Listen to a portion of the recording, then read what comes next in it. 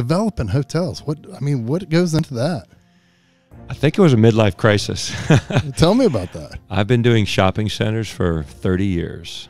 But after I bought the design district, I listened to my showrooms and they said they wanted a hotel.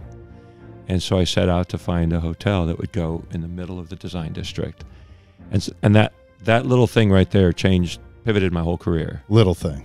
That little Well, it became a passion project for me. And that's how I met Richard Branson. And that's how I picked Virgin Hotels, which is a very young brand in the hospitality world. We shared vision, and it ended up being perfect because the design district loves the Virgin Hotel. Yeah, it's a beautiful hotel. Tell me about it. I spent four years designing it on paper with an architect. And I just didn't let people loose and let them do their thing because I knew that once it was open, I was going to be the name and the face. So I wanted to prove and like everything that went into that building, whether it's a rug or a lamp or a painting. Most of those paintings in that hotel are from my own homes, out of my own personal collection.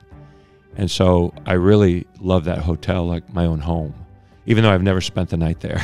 I was just going to ask you. You've never spent the night there. I have not. Isn't that interesting? People think that's crazy, but I spend a lot of hours there. I was just going to ask how many late hours. do Oh my spend? gosh. I, I love entertaining people there. I love meeting guests there. I have met so many fine friends, guests of the hotel that just want to meet the owner, uh, famous people like 50 Cent, all the way down to anonymous people.